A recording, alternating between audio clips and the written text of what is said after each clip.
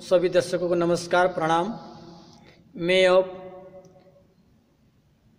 सभी प्रकार के हृदय, मानसिक मस्तिष्क संबंधी जितने सारी बीमारियाँ हैं, मोटापा, कोलेस्ट्रॉल, उच्च रक्तचाप, निम्न रक्तचाप, स्त्री रोग और पुरुषों के जो गुप्त बीमारियाँ हैं इसमें क्या खाएँ, क्या ना खाएँ, इस बारे में बोलना चाहता हूँ। इन सभी बीमारियाँ की मुख्य तो चार पाँच कारण हैं। इनमें से पहला कारण है, हम जल कम पीते हैं, जल ही जीवन है, और बिना जल से ना खाना बनता है, ना पेड़ पौधा ज़िंदा रहेगा, ना संसार चलेगा। इसलिए पानी ज़्यादा पीना है।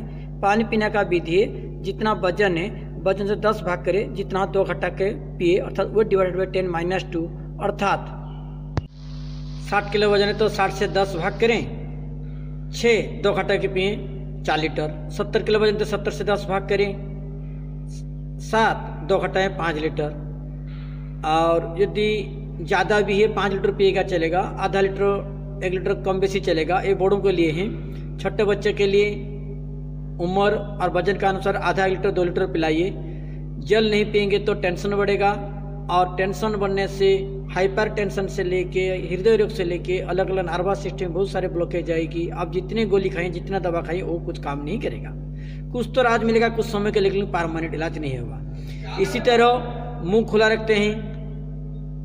इसी तरह कोई व्यक्ति मुँह खुला रखेंगे तो ब्लॉकेज करेगा नर्वस सिस्टम में बीपी भी बढ़ेगा हार्ट का ही ब्लॉकेज होगा। इसीलिए होटो को लगा के रखें।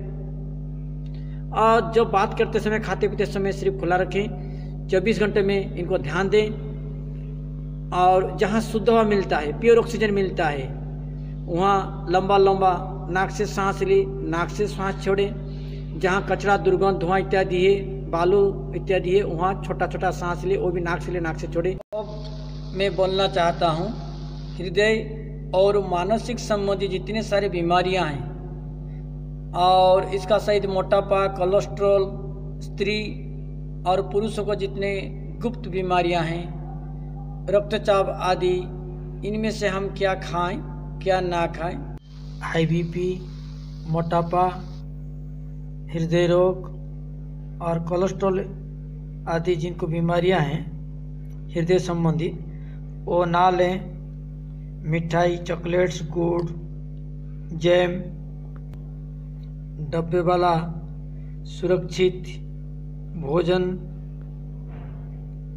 गोलगप्पे, केक्स और इसी प्रकार कंदमूल, जिसे शकरकंद बोलते हैं, तेली, भोजन, सूखे मेवे और गिरी शराब, नस्ला पदार्थ और तंबाकू व तंबाकू संबंधित चीज़ें ना लें। क्रीम, चिकनाई और इसी प्रकार केला, सेव, छुआरे कस्टर ना लें। चाय कॉफ़ी भी ना लें। कॉफ़ी पीने से बीपी बढ़ती है। इसी तरह ना लें ज़्यादा मसाला और खट्टी मिर्च, तेल कहवा चीनी व चीनी से बना हुआ सामान, नमक, ज़्यादा ना लें, जितने कम ले उतना अच्छा है। इसी तरह कच्चा केला, बैगन, आलू, मैदे, घी, पॉलिश, क्या क्या हो, चावल आदि ना खाएँ, ब्रह्मचर्य, यथाशक्ति। पालन करें। सप्ताह में एक दिन उपवास करें तो अच्छा है। खाना चबा के चबा के लें। एक मुट्ठी को बत्तीस बार तक या बीस पच्चीस बार चबा के लें। खाते समय पानी ना पिए। पानी पिया तो आधा घंटा छोड़ के नाश्ता खाना करें। नाश्ता खाने का एक दो घंटा छोड़ के पानी पिए। भोजन करने के बाद यदि पेशाब लगता है तो मूत्र त्याग अवश्य करें। परंतु पैर ना धोए। भोजन के पहले यदि पेशाब जाए तो बढ़िया है। दिन में नहीं सोना चाहिए। इससे रात में गहरा नींद आती है। शाम का भोजन सूर्योदय का पहले ले लें और वो थोड़ी मात्रा में लें, हल्का लें। और सप्ताह में एक दिन उपवास करें तो अच्छा है। नींबू का रस जल में मिलाकर अवश्य पिए। सुबह जगने के बाद रात में सोते समय इस ईश्वर को स्मरण करें, ध्यान करें और इससे बीपी नहीं बढ़ती है और बीपी वृद्धि को कम करने में ये चीज़ें सहायक है। न खाएँ केक, पेस्ट्री, नान, रुमाली, रोटी नूडल्स, पिज़्ज़ा, बर्गर और नमक। और ना ले तो अच्छे बात हैं तो कम लें। तेली चीज़ें, डिब्बा बंद, खाद्य पदार्थ, मक्खन, घी, खोया, मलाई, मांस, वनस्पति, घी से बना हुआ सामान, मैदा, बेसन के तले हुए पदार्थ, गरिष्ठ भोजन, कटहल, काजू अखरोट, पिस्ता आदि सूखे मेवे शराब, अचार, चटनी, मांस, तैले, पापड़, बिस्कुट, आलू चिप्स, धूम्रपान आदि निषिद्ध है। ना खाएँ। पेप्सी कोको कोला आदि कोल्ड ड्रिंक्स भी ना लें। नमक एक व्यक्ति के लिए 24 घंटे में तीन से पाँच ग्राम नमक ज़रूरी है। जो सब्ज़ी हम खाते हैं, उससे मिल जाता है। और हाई बीपी वाले नमक जितने कम लें, और उतना अच्छा है। लो बीपी वाला थोड़ा नमक ले सकते हैं। और परंतु ठीक होने पर ना लें। और जिनको लो बीपी है, और वो लोग थोड़ा मिठाई और फल का जूस पिए, चिंता ज़्यादा शोक ना करें। चक्कर आने पर लो पी वाले को एक गिलास पानी में दो चम्मच यदि गुड़ मिला के पी लेते हैं, तुरंत चक्कर ठीक हो जाता है। व हम मुनक्का भी चूस सकते हैं। व एक गिलास पानी में थोड़ा सा नमक, चुटकी भर नमक और गुड़ मिला के भी पी सकते बीमार वाले हैं। परंतु ले गेहूँ का आटा कम मात्रा में बाजरा एवं ज्वारा, मूंग साबुत तथा अंकुरित दालें काले चने हरी पत्तेदार सब्ज़ियाँ, पालक मेथी बथुआ आदि इसी तरह अजवाइन मुनक्का अदरक नींबू लौकी सबसे बढ़िया है लौकी का जूस इसमें एक गिलास ले लेंगे उसमें पुदीना पत्ता साथ भी मिला के ले सकते हैं परंतु यदि लौकी का जूस कड़वा होगा नहीं पियेंगे फेंक देंगे बाकी किसी को पिलाएँगे नहीं बीमारी बढ़ जाएगी इसी तरह तुलसी का पत्ते तोरई, पुदीना, परवल, सहीजन बढ़िया है, सहजन का पत्ती भी बढ़िया है और सहजन पत्ती भी खाएँगे तो बीपी घटता है। इसी तरह अनानास, बादाम और करेला आदि लेंगे।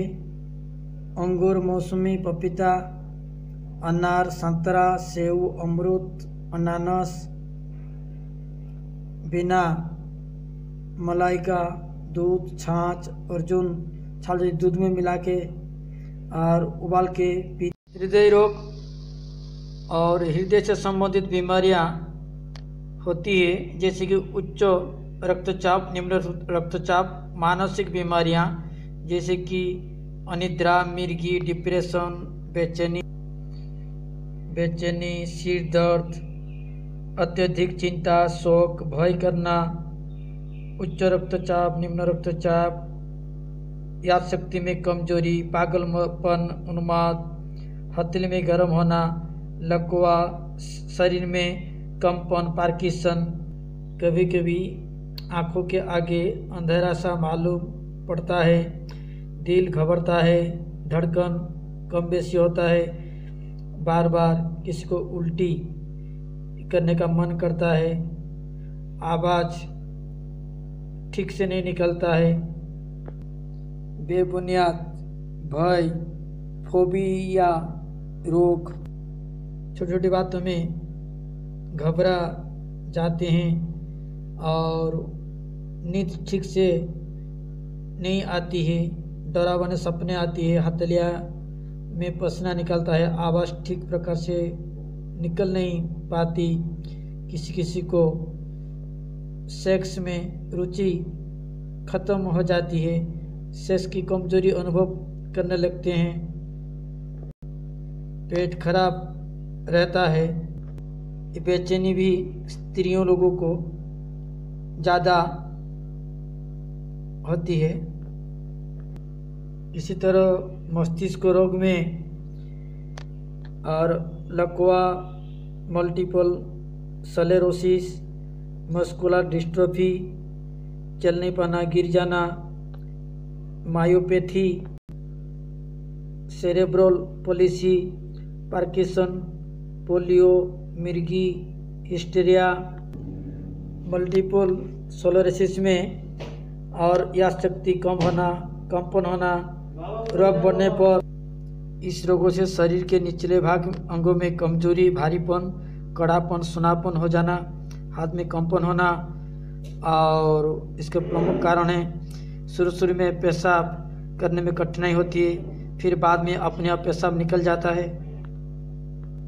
इसी तरह मस्कुलर डिस्ट्रोफी में चल नहीं पाना और चलते चलते गिर जाना। मायोपैथी में शरीर टेढ़ा हो जाना लक्षण है।